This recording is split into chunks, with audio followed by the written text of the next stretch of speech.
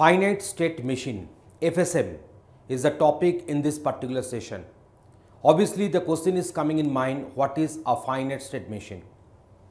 See, finite state machine or finite automata is an abstract model describing the synchronous sequential machine and its special counterpart, the iterative network.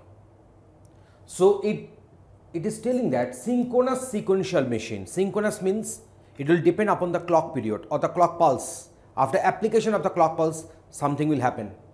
And sequential machine means we know that all the digital circuits can be divided into two categories, combinational and sequential.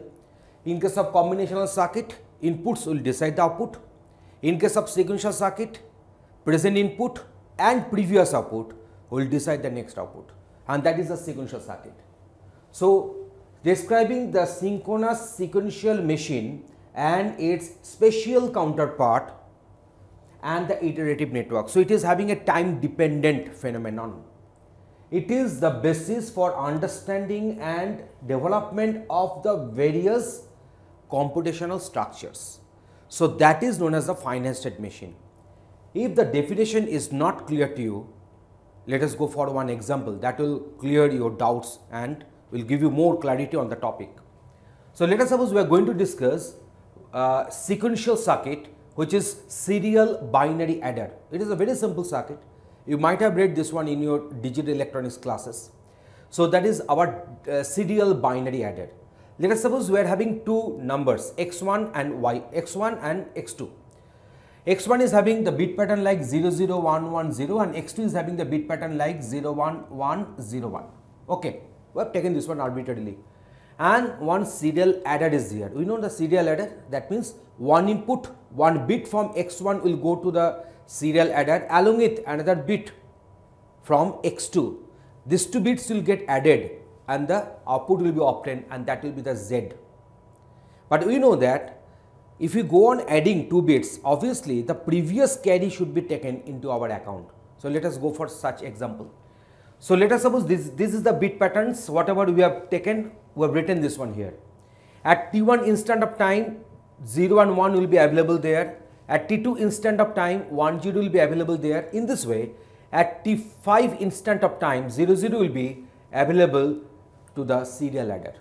Now, please go on adding 0 plus 1 is 1, 0 plus 1 means 1, 1 plus 1 means 2, 2 means 1 0. So, 0 will be coming, 1 will be the carry and that 1 plus 1 is equal to 2, 2 means 1 0. So, 0 will be there, 1 will be carry and 1 plus 0 plus 0 it will give you value 1.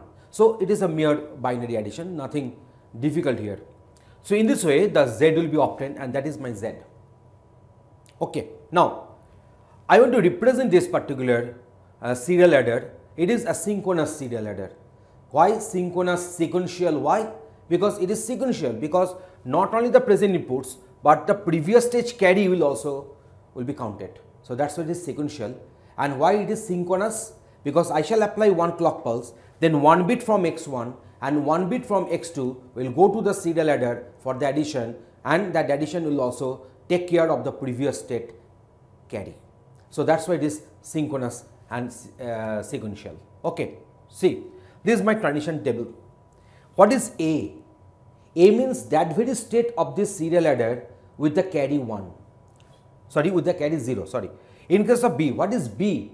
That is the one of the states of this particular serial adder with carry 1. Everything has been written here. State with carry 0 and state with carry is equal to 1. So, A and B. And you know that is my next state and this is my present state. Okay. See, if I am at the state A, that means that my carry, my uh, previous carry is 0. So, now if I get 0, 0, then I shall remain with the state A. Why? Because there will be no carry generated and the sum will be, sum bit will be 0. So, 0 1. So, 0 1 means actually I am doing 0 plus 0 plus 1 because previous is previous state carry is 0 and here is 0 1. So, I shall be in a state A without any carry. So, that is why I will be in state A and with the sum 1. So, 1 1. So, 0 plus 1 plus 1. What is that? That is 2. 2 means what? Means 1 0 means the sum bit will be 0 and the state will have the carry. So, I am making a transition to state B. In this way I have done. Let us take arbitrarily another one. What is B? B means I am having the carry with me. So, now here the input is 1 1 then 1 plus 1 plus 1 means what? 3 means what? 1 1 in binary.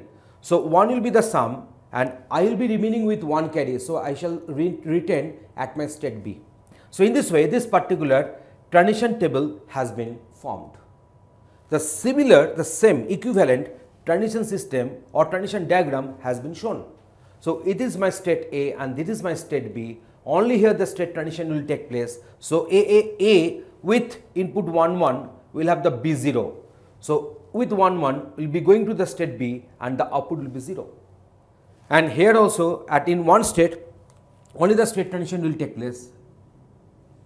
So, that is my at B if I put 0 0 then my next state will be A and output will be 1. So, at state B if I put 0 0 my next state will be A and output will be 1. So, in this way I have explained each and everything in the respective transition diagram. Let me show another one arbitrarily selecting. So, now A 1 0 next state will be A and output will be 1.